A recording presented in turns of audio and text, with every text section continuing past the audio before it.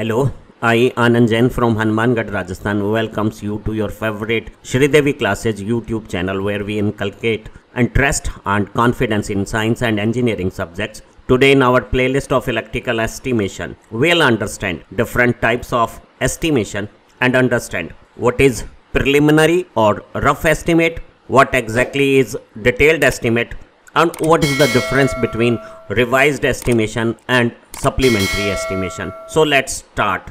Different type of estimates.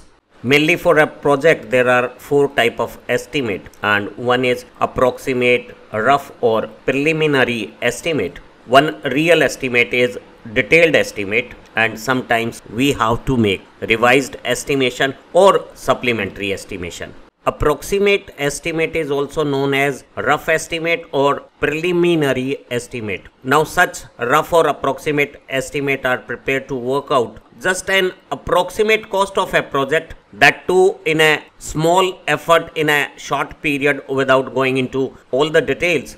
Such rough or approximate estimate doesn't require any detailed investigation of the project or all the design and drawing details. Hence, they save both time and money in estimation. Now, the key purpose of rough estimation is a preliminary financial evaluation of the project just to enable the owner to consider the business idea in the project. Generally, such rough estimate are prepared by comparison of existing project with similar type of other projects using the practical knowledge and experience of estimator. Many a times just a covered plinth area in square meter is used and comparison of project for which estimation is required and the similar type of project executed earlier can fetch approximate estimated cost of the project. We can also use approximately the quantities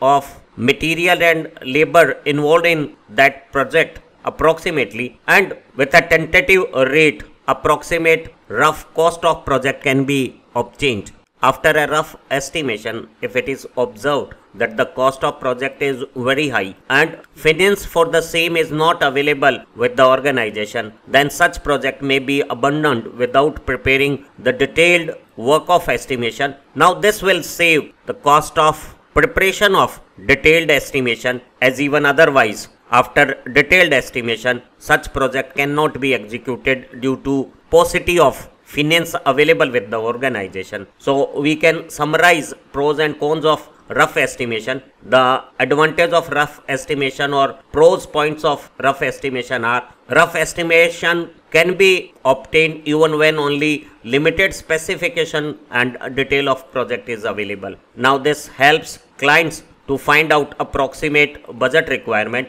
and it is relatively quick and economic method of cost evaluation but there are some demerit or cons of rough estimation. The degree of accuracy of rough estimation is very low compared to other techniques and sometimes it will have considerable amount of error in estimation. Detailed estimate is a document of considerable detail and it include specification of all material involved in project installation. It also include detailed specification and work schedule for method of doing the work. Detailed estimate got all information of relevant measurements so that we can find out quantities of all sort of materials and the work to be performed in electrical installation. It also involve all relevant drawing and other details with all necessary technical specification and commercial details. Now in a detailed estimate, first after specification of all material and works, the quantity is obtained and then corresponding to material or work detail, respective rates are assessed and by multiplication of rate with quantity we can find out amount of all individual material and works. And the summation of all those will give us the cost of project the total amount of labor charges for any electrical installation is determined by either of the following two methods. In one electric point method, which is very simple method and very popular in domestic and commercial building electrification projects. In this electric point method, just the total number of points in the building are first counted out Now, along with number of points, we also include installations of all switchboards and all main boards. When we count main boards, it is counted as 2 times the number of circuit in the distribution board. So whole electric installations become simply the total number of points and finally the total labor charges are found by considering a flat rate of say 200 to 300 per point say 250 rupees per point for concealed conduit wiring and we can find out the total labor cost involved in any building electrification. In second, uh, fixed percentage method can be used. Now in this system, we first count the total material cost involved in project by counting the quantity and rates of those items and then labor charges may be considered as 20 to 30 percent of total cost of wiring material so labor cost is treated as a percentage part of material cost and roughly it is taken as 20 to 30 percent depending upon type of project.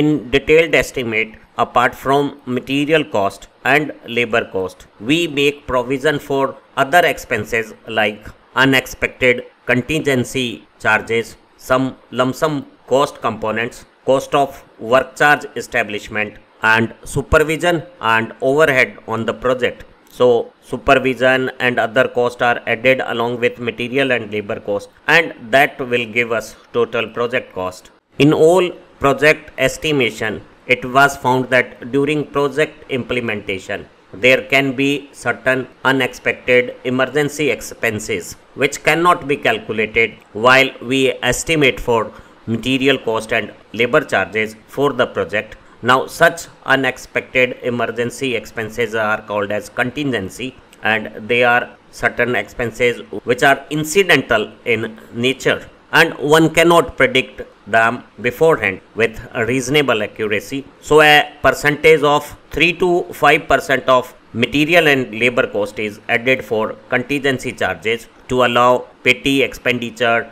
or unforeseen expenditure due to changes in design, change in rate structure, which may occur during execution of work. In any project, lump sums are small petty items such as screws for different fasteners, saddles, insulating tapes, junction box, so many hardware component and other miscellaneous items for which detailed quantity estimation cannot be taken out easily or otherwise it will take lot of time to find details of such small items during the electrical installation work on any project considerable number of skilled supervisor work assistant watchmen caretakers are employed on temporary basis and one cannot predict and calculate the exact expenditure on these work charge establishment. So to lump sum items and work charge establishment a certain percentage 2 to 2.5 percent of material and labor cost is added as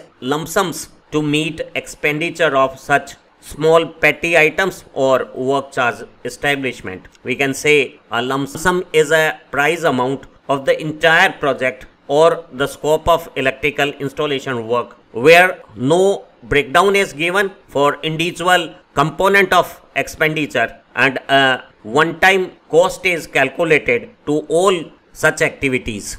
Contingencies are charges of vague nature of unfortunate or unexpected conditions or they are unforeseen expenditure which occur due to delay in project execution mismanagement of material or labor or minor accidents or natural calamities now these additional emergency expenses may be due to increase in cost of material or labor rates during execution of electrical installation work. So for all such unforeseen conditions, 3 to 5 percent of material and labor cost is estimated as additional expenses and such additional expenses are known as contingencies and this contingency amount 3 to 5 percent amount of material and labor cost can fully compensate the additional material cost, labor cost or other allied expenses which otherwise could not be considered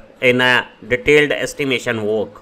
In any project execution, certain amount of overhead charges incurred daily on project organization though they are not directly connected to project execution now these overhead charges includes salary of all administrative staff the rent component of different positions for organization carry charges for material handling traveling expenses of staff members advertisement electricity water charges or postage telephone or communication charges. Even there are some overhead charges in terms of various type of spare parts. Some allowances for wear and tear of fixed assets is also required. We have to maintain and repair all tools and equipment which are used in project implementation and all those charges are included in overhead charges on project various taxes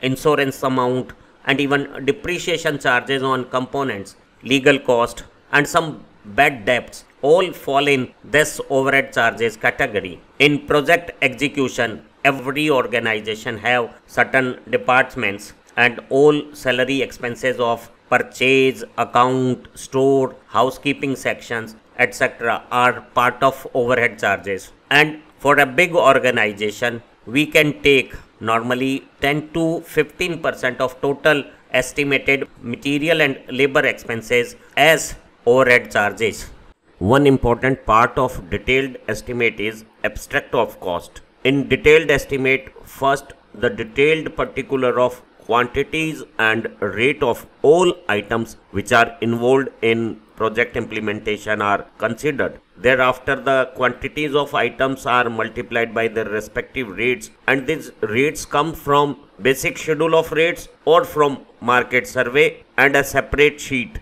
known as abstract of cost is prepared. Now, in abstract of cost, all the values must be checked by a second person and who tick mark the checked values in other color ink and if required corrections are made but all corrections are first cross checked now total of cost of all items gives the estimated cost of the work of the project which include all material and labor cost. Now all other expenses such as overheads supervision contingency or lump sums etc are also added in this estimated cost as per decided percentage that is required for satisfactory completion of the project. And all these other expenses overhead supervision contingencies or lump sum are added with the abstract of cost and final abstract of cost is prepared now this is the best and most accurate estimated value of project Detailed estimate of any electrical installation project is generally accompanied by following things. There is a detailed project report along with detailed estimate.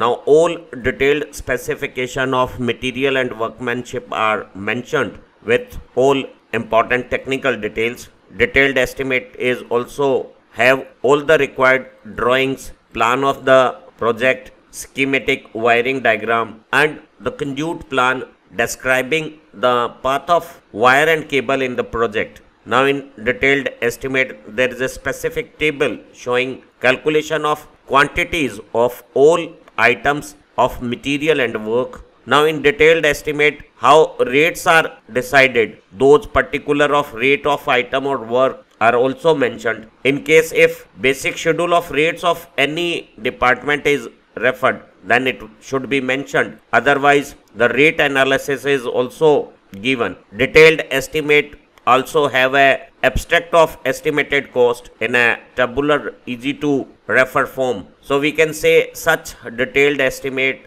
is used for final technical sanctions administrative approvals and finally detailed estimate is become basis for execution of contract with different contractor and suppliers in special circumstances, some electrical installation project have to use revised estimate. Now these revised estimate are also detailed estimate but they are for revised quantities or revised rate of items of work which are originally provided in original detailed estimate. But this revision of quantity or rates is without any deviation in original design of the project or the specification which are approved in original detailed estimate so with the same design and specification if quantities or rates have any deviation then it will require a revised estimate. Normally revised estimate are prepared when area of measurement of approved plan changes or rates of material or labor charges changes over and above 5% so revised estimate is that estimate which include revised quantity or revised rates of items of work in some extraordinary conditions, a project may use supplementary estimate. In a project when some additions or changes are done in original work which is in progress and such changes or additions are not included in original estimate, then a fresh detailed estimate known as supplementary estimate is prepared to supplement the original approved work. All supplementary estimates are also accompanied by all the papers as required in through detailed estimate. So it's a rigorous exercise similar to detailed estimate and an approval of competent higher authority is also required to implement supplementary estimate for any project. In fact, supplementary estimate represent the negligence of original detailed estimate and it is used to cover that for successful implementation of project. One can compare revised estimate and supplementary estimate. A supplementary estimate is work out for the work which are not presented in original design and it need approval of higher competent authority whereas revised estimate is work out when there is a deviation in material or labor cost from original design proposal without change in design and specification of original work as the project cost has changed beyond contingency coverage. So it need revised estimate but there is a significant change in project design or details then a supplementary estimate with all exercises as required in detailed estimate is worked out. We hope this learning video has explained all types of estimates which are used in electrical project installation. Now you understand what is approximate or rough estimate, what exactly required in detailed estimate and what are revised and supplementary estimates. Our other learning video of the same playlist are equally useful in preparation of this estimation subject you can use them in your learning as well as you can share them with your friends and if you need exam centric notes of this or other subject, do join YouTube membership of ShreeDevi classes. Happy learning. Have nice time. Thank you very much.